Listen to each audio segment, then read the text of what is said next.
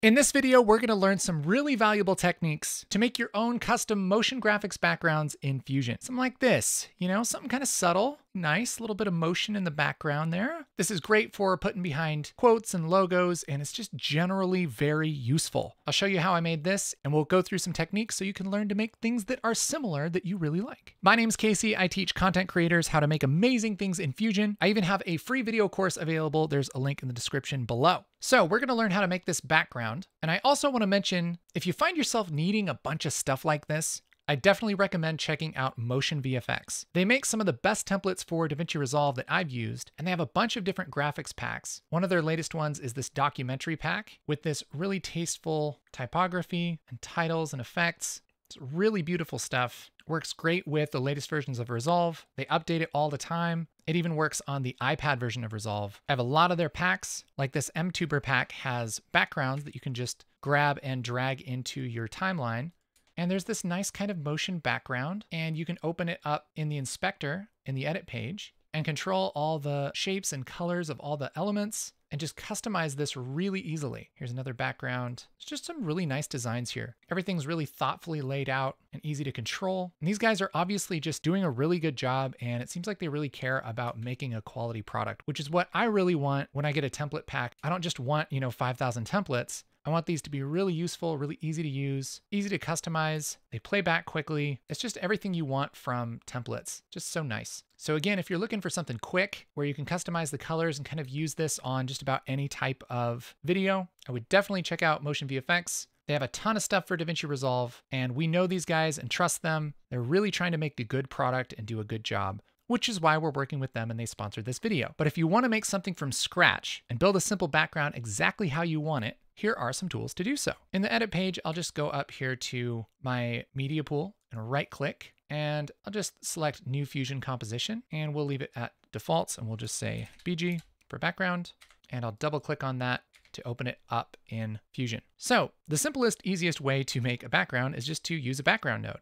Grab background, drag that in, take the output of the background and connect it to media out. And boom, we have a black background. Hey, thanks everybody for watching and uh, make sure to subscribe and like and okay. We'll do more than that. One is we can select this background, go up here to the upper right in the inspector and change the color. So maybe we'll do purple because we did blue in the demo. Yeah, we'll do kind of a purple like that. And that gives us a solid color. The other thing we can do is instead of solid color here, we can make different kinds of gradients. I like to play with four corner because that gives us four different colors and it kind of automatically blends these together in the corners. So maybe we'll do kind of a red, more of a pinkish sort of look up there. We can do more of kind of a blue there, maybe a little more purple in that. So now we already have a little bit more dynamic of a background. Looks kind of nice. But let's look at some cheap tricks to make this a little bit more dynamic. One tool that I use the heck out of is this second one right here, fast noise. You can take fast noise, drag this over here and take the output of fast noise, drag that over the output of the background, and that'll make a merge node and it'll automatically connect the fast noise to the foreground, that's the green input, and the background to the background, which is the yellow input of the merge. And now we have these clouds over our background, it already looks a little bit more dynamic, but we can change the controls for this. If I push detail up, that looks a lot more like kind of realistic smoke. But let's just keep the detail down like that and play with the scale. Push the scale to the right to make everything a little smaller, push it to the left to make it a little bigger. And one thing you can do is just push this scale up a little bit like this. And you can either seed this, which you can just take the seed and kind of push it around like that. You can see it sort of morphs. Or you can automatically have this seed by pushing up the seed rate. I can push that up a little bit. And now as we play this back, Let's push that seed rate up a little more. It kind of wobbles like that. And so that's already kind of a motion background. And this is probably a little too high contrast. We can just blend this down by going into our merge right here and taking this blend parameter down. I can take this to the left, turn it all the way off, and then I'll just push it up a little bit just so we have a little bit of movement here. In my opinion, this is a really nice kind of just subtle movement to the background. It's a lot more interesting than just a solid color. Gosh, it's just so easy to do this. So we can take this kind of background, I can switch over to the edit page and I can grab this background and just drag it into the timeline. And now I have this background and I can extend this as far as I want and it's always gonna have that motion. And then I could do something like go into my effects library under titles and just grab the plain old text title, throw it over here. I can change my font and all that stuff. Add a little drop shadow pretty easily. And now we have a pretty nice looking title. Look at this that we made from scratch, looks professional, isn't distracting. It's just really nice. Okay. So that's super easy. Let's say we want to get a little crazier. I'll go back to my media pool, double click on this background here, and let's add kind of some tiled shapes. You can do this like so many different ways. One way is you can use the actual shapes in Fusion. So if you hit Shift Spacebar, that'll bring up this Select Tool panel here. And this lets you search for the different tools in Fusion. And so I'm going to search for S H A P E. And that's going to bring up all of these shape nodes. And if you haven't played with shape nodes, shape nodes are super fun. So let's just go ahead and start with a star. So S star and hit add. And what this does is it generates a star shape. If we hit one on the keyboard, and I'll just open up our second viewer here, we can see a preview of this star. Now, you're not going to see a preview of the star um, unless you have Resolve Studio 18.5 or later. This is a really basic feature that they kind of added in just the latest version. Normally, you'll have to connect this to a render, so S render, like this, and then view that S render here on the left. So we could just do that. But if we select S star, we can control all kinds of things about how this star looks. I can push up the points, take them down. Let's do a five point star. Can adjust the depth. So I don't know, maybe just something like that. We can adjust the width and the height. Maybe I'll take this down a little bit. Let's do like 0.2, 0.2, have a little star there.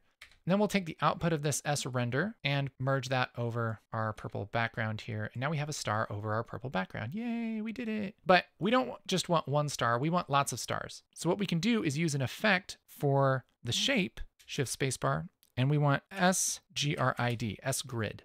This is going to take any shape that we plug into it and render it as a grid of those shapes. So I'll hit enter and this will do a three by three grid by default. And we can push up the cells. Let's do six by six. There we go, that's kind of nice. And then, because this is procedural, I can go back to this star and adjust the width and the height, right? Make these a little smaller. And now we have these kind of rendered on a grid like this. Again, subtle is a good idea. So let's take this merge two that we're plugging this shape stuff into, and we'll just take the blend down a little bit. So take it all the way off, and then I'll push it up until we kind of notice it. And just keep it really subtle in the background.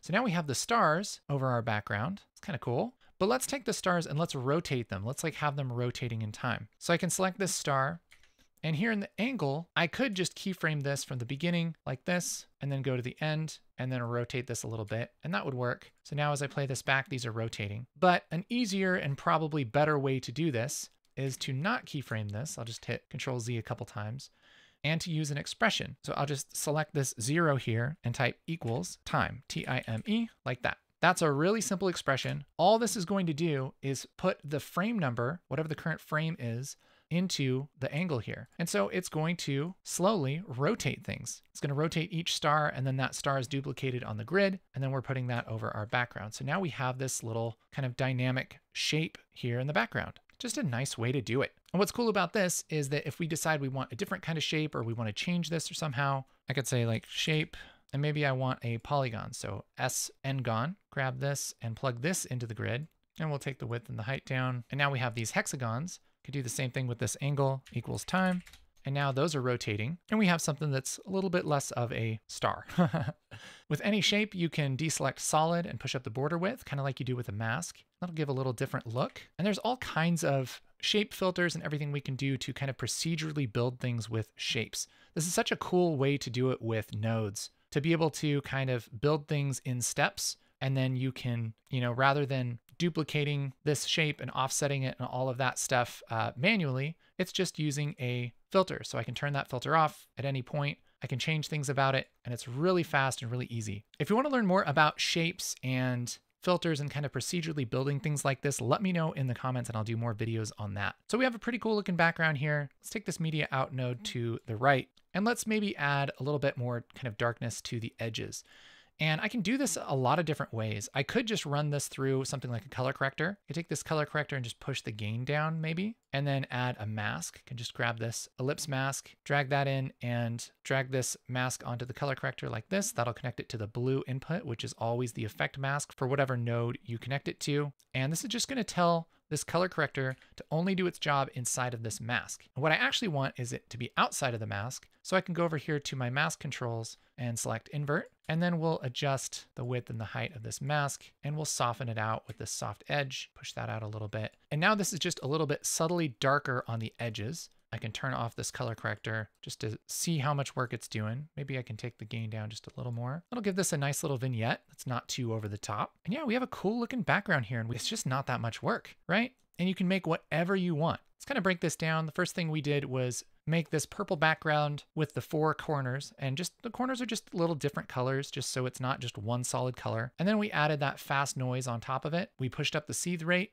just so we have that subtle kind of blobby movement. Then we made a polygon shape and we ran it through a grid filter here and put that through a renderer so that we can actually composite that on top of other nodes. So we put this on top of that purple with the clouds on top and it already looks cool. Then we added the color corrector with that really soft ellipse mask that's just darkening the edges a little bit, making that nice and classy. You know what I'm saying? And again, we can use this fusion composition as a background. We'll just drag this into the edit page, trim it to how big we want, and then boom, we have our really nice background. Isn't that awesome? So easy to get something that looks nice like this, and it can be exactly what you want. So there's a way to make something custom that's maybe not as quick, at least the first time. If you want something that you can still customize, but it's definitely a lot quicker, you can check out the awesome templates from Motion VFX. That's another really nice way to get some beautiful motion graphics without a whole lot of work. There's a link to Motion VFX in the description. Make sure to check that out. And I hope this was helpful for anybody trying to learn Fusion, get their feet wet in the uh, whole